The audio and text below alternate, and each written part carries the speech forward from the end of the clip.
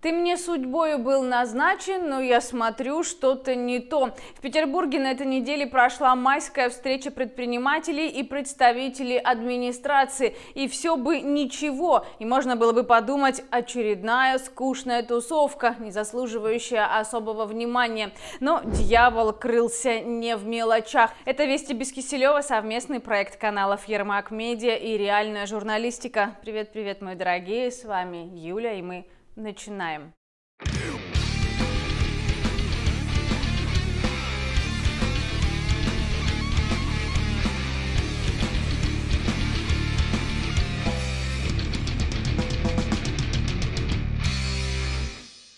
Итак, питерская встреча предпринимателей с главой Выборгского района не предвещала ничего экстраординарного, пока на нее не заявился районный военком. Оказалось, что в этот раз администрации от бизнеса нужны были отнюдь не деньги, а как по Гоголю – Впрочем, опустим Гоголя и оставим просто души, хотя военкомату они нужны, конечно, с телами. Деловой Петербург сообщает, что триггером встречи послужила нехватка на фронте российских военных, и что, несмотря на тишину в мобилизации, людей теперь нужно в полтора раза больше. И решение этой проблемы переложили на плечи предпринимателей.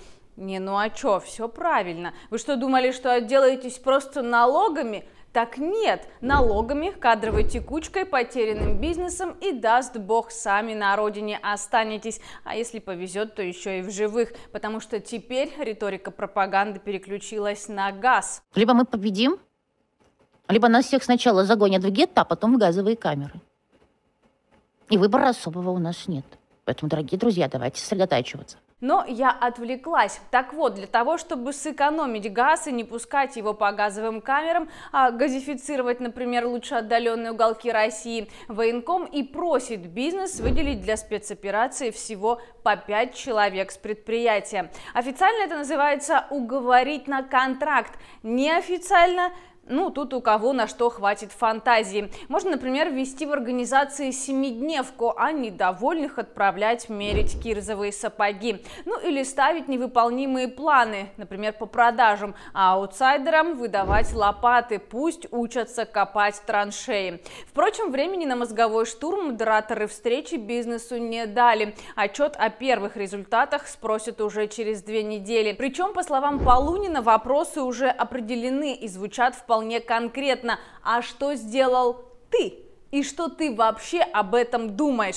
Как по мне, так очень удачная формулировка. Отправил пятерых ненужных, получил медаль. Не помог государству, получил срок. Это как тот опрос в Хабаровске. Вы поддерживаете спецоперацию? Нет. Вы за фашистов, что ли? Можете оставить подпись. Вы поддерживаете спецоперацию? Нет. Как это?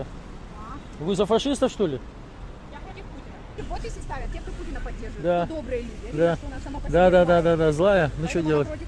говорит? Так, Он восстанавливает страну. Страну спасает. Он поддерживает. Я знаю это, никто не сказал. Я бы, конечно, на месте и тех, и других не была бы столь категоричной. Ну, просто вдруг на каждом предприятии есть те самые заветные пять человек, которые хотели на СВО, но боялись потерять работу. Так же, как и с Хабаровском. Ну, не поддерживает человек то или иное мероприятие. Но почему он сразу фашист? Тут ведь главное пример показать свой, личный, и желательно не сопровождая его баснями о сынах государевых да с подменной фамилией. Я знаю, что старший сын Пескова пошел туда служить сам, с полного благословения и в каком-то смысле даже поощрения Пескова. А вот кого на этой неделе не благословил ни Песков, ни сам президент, так это жители села Сабурова. Уже продолжительное время они добираются до административного центра, где и школы, и магазины, и больницы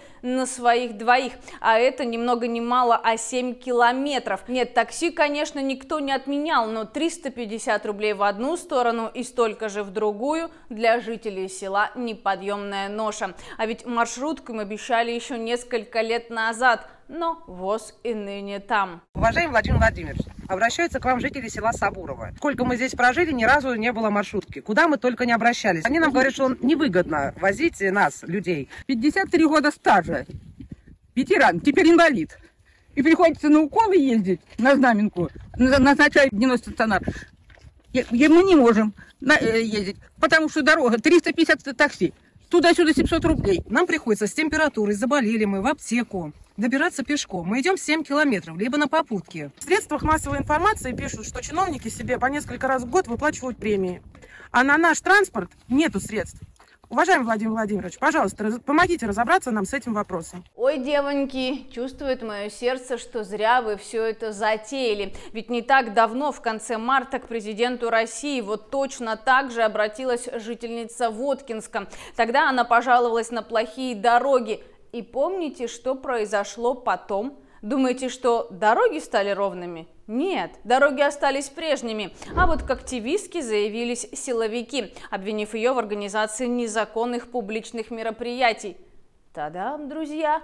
Я другой такой страны не знаю, как и не понимаю, почему люди, которые голосовали за своего президента, не могут обратиться к нему же с вопросом или просьбой. Ну, видят они в нем надежду на поддержку, но почему их настолько ограничивают в правах? Я прошу меня извинить, если я не смог ответить на все ваши вопросы.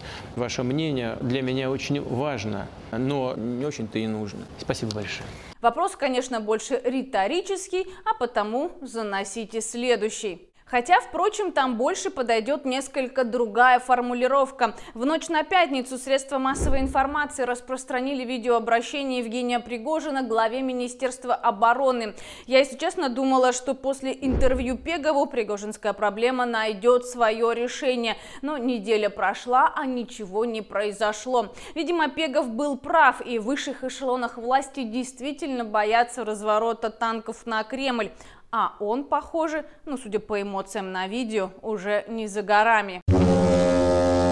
Видео, конечно, не для слабонервных, но на месте Шойгу я бы точно занервничала. Я, если честно, слабо понимаю взаимоотношения государственной армии и частных военных компаний, как и не понимаю, кто и кого должен спонсировать и поставлять боеприпасы, но полагаю, что если дело достигло таких эмоциональных пиков, то пора ожидать от Пригожина и следующий вопрос – а на чьей стороне Шойгу? Тогда, возможно, найдутся и ответы. Правда, большинству россиян они могут не понравиться. Как, например, то самое видео Маши Катасоновой 2015 года выпуска, где она, типа освещая обстрелы Донбасса украинской армии, вела стримы с места событий. Но что-то пошло не так. На позициях в промзоне с первым мотострелковым батальоном бригады «Восток» вторая рота. До линии соприкосновения с украинской стороной 400 метров.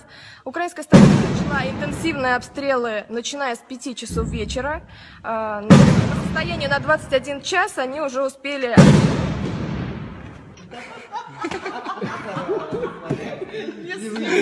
Оказалось, что все репортажи Катасоновой были постановочными. Заранее подготовленная темная комната была ночным Донбассом, а нержавеющая кастрюля с поварешкой – имитацией обстрелов. Не учла Катасонова только одно – оператор, который ее снимал, был любителем порофлить и слил неудачный дубль в сеть. И, по-моему, это как ничто другое демонстрирует нам достижение той высоты маразма, после которой смотреть вниз уже становится опасно. И да, после таких материалов подобной подставы ждешь уже буквально от каждого пропагандиста.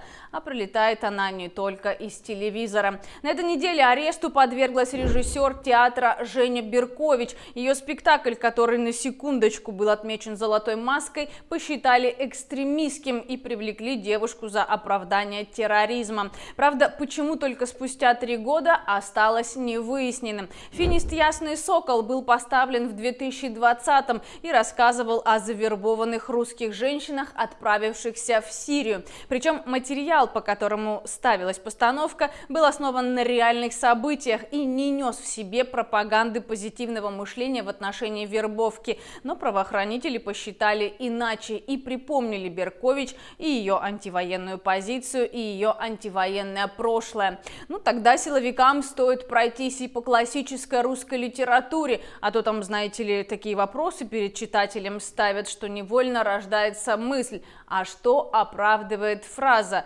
«тварь я дрожащая» или «право имею». Ведь если взглянуть глубже в суть, то можно и в Достоевском найти руководство к действию, да и возможности фантазии, они, знаете ли, безграничны. А потому я думаю, что искусство нужно оставить в покое, оно просто показывает, как бывает, и от слова «совсем» не призывает к чему-то противозаконному. Но вы же не стреляете в радио, которое рассказывает вам плохие новости, ведь не оно их придумывает, оно транслирует, причем то, что уже свершилось. В связи с чем я и не понимаю, за что наш основной канал Ермак Медиа за последний месяц получил уже два предупреждения. Третий, и мы с вами больше не увидимся. Поэтому мы создали резервный канал, там же на YouTube, он абсолютно бесплатный и пока не побитый блоками и банами. Имейте это в виду, если снова вдруг нас потеряете. Ну а на этом у меня все. Я благодарю вас за время, проведенное со мной. Увидимся ровно через неделю на том же месте и в тот же час. Всех люблю. Пока-пока.